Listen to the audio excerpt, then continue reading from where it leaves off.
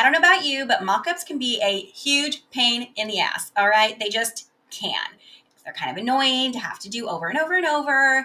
And sometimes it's super frustrating because maybe you'll have one color of a mock-up for like a t-shirt, but then you want another color and you can't find that color. Well, I found some hacks, guys, and you are going to love them. We're going over my favorite little hacks today for mock-ups. I'm super excited to do that. But before we hop into that, I have got to show you something I am super pumped about. I've been working on for months, and it's just taken a while for me to feel like it was exactly my vision. And now it's here.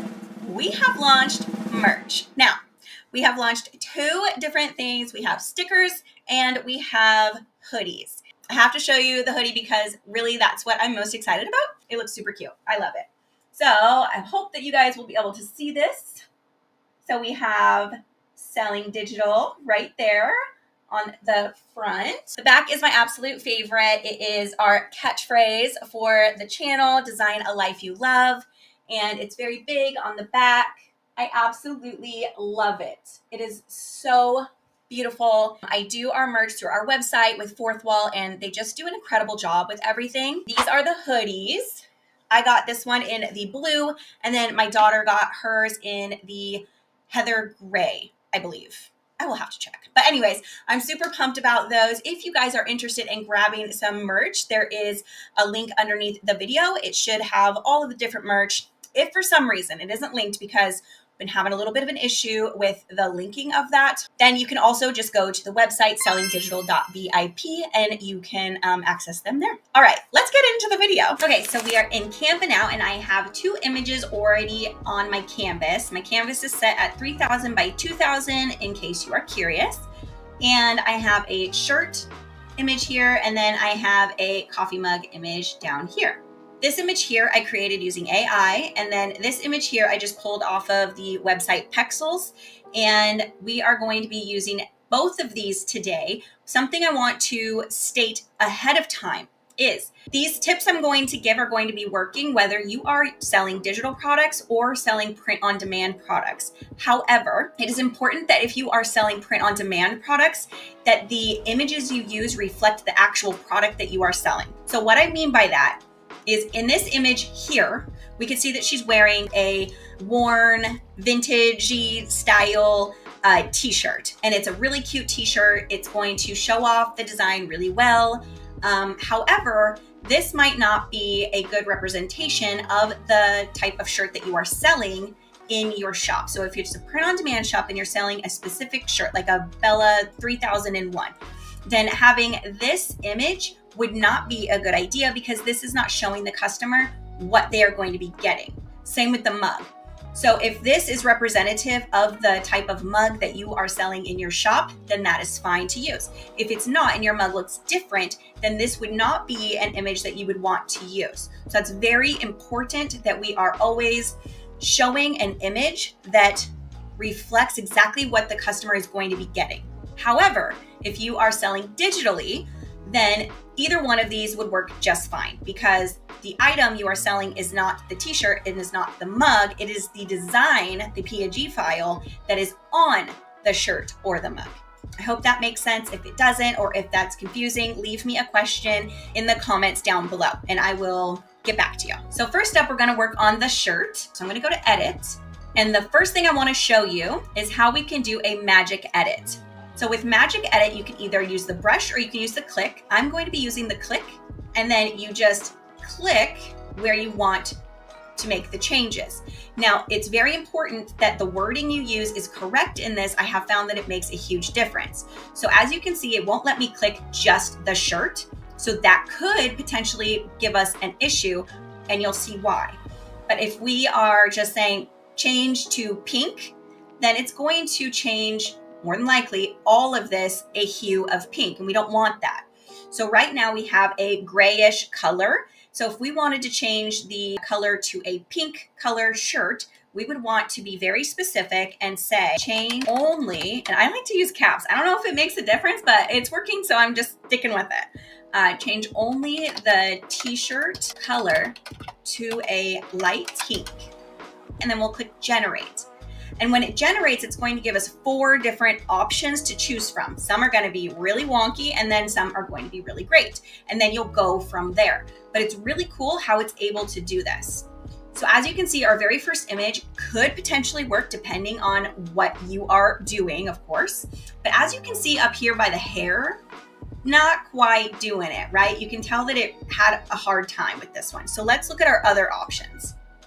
We have this one here, which looks kind of similar to that one. We have this one, which is a little bit better, I feel, but not great. And then we have this one here, which I feel is our best bet. So we are going to keep with this one here and we'll click done. So the image is looking really good. We may want to crop things or adjust things just a little bit. And this would be the time to do that. If like me, you are using a square photo for your Etsy, I use only 2000 by 2000 squares. It just drives me crazy. I don't know why that the front image of Etsy is a square and then the rest of them are not. I don't like to have to try to line it up. I, that's just how I roll. So I do squares. So if you were going to make that change, now would be a good time to do that. And you could crop it just simply by clicking on crop and then cropping it down any way that you wanted to. We could lift it up if we wanted to just mo more so focus on the t-shirt. So I'm gonna go ahead and just leave it like this for now. Now what I wanna do is adjust the overall coloring. I want it to look a little bit brighter. So we're gonna click on edit again, and then we're gonna go to adjustments. And we can do a couple of different things. We can either adjust the entire photo. And let me show you what I mean by that. Let's say we want to adjust the brightness of the whole photo. We could take brightness and we can move this up. And you can see that we can get it really blown out or really dark.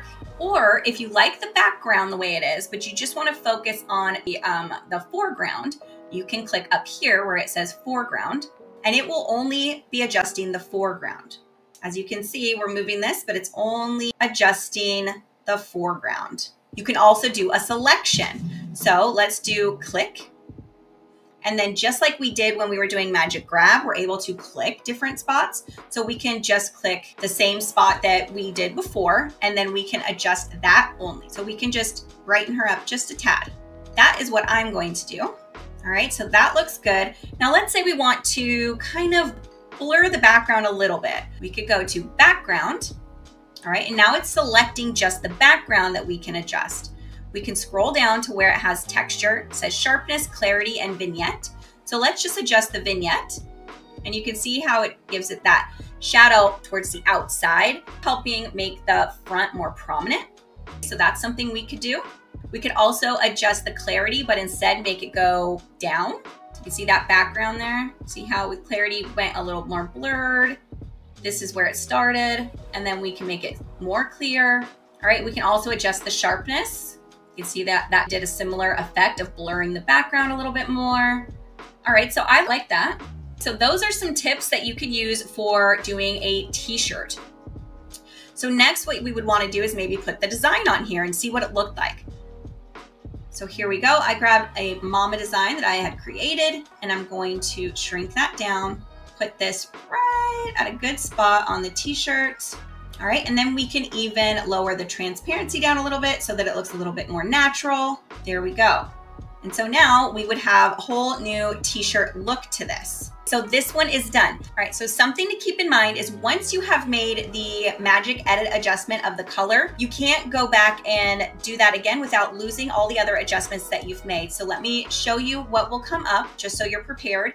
So if we went to magic edit again and I said change the t-shirt only to blue, we'll say navy blue. We'll have to click so that it knows where and then generate. It's gonna pop up this message that says magic edit cannot be applied within with existing adjustments. So you'll have to make a choice whether you want to reset the adjustments or keep the adjustments, which means it will do the magic edit of changing the color of the shirt, but then you're going to lose those other adjustments that we created, like making it a little bit brighter or blurring the background a little bit. So what I would do is I would start off with just the main image and then I would duplicate that image on multiple pages and do one at a time. That's what I would do. Now I'm going to work on the coffee mug and we're going to do a little bit different on the coffee mug so you can see a few other different options here. So the first thing I wanna do is crop this so that it's more prominent. Okay, so if we're gonna use this for a main listing photo, we're gonna want it to be more obvious what we're talking about here. So let's go ahead and crop that down. Done. And then we will make it larger to fit. Now, obviously, my nose itches. That always makes me think of my aunt. One year, I thought she was doing this and she goes, My nose itches. And I thought she said hoes and bitches.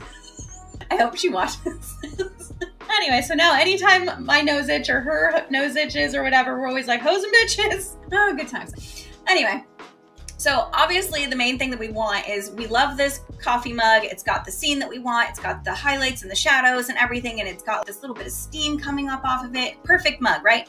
But it's got something on it already. So we need to adjust that. So if we click on the mug, we go up to edit and we're gonna use the magic eraser this time.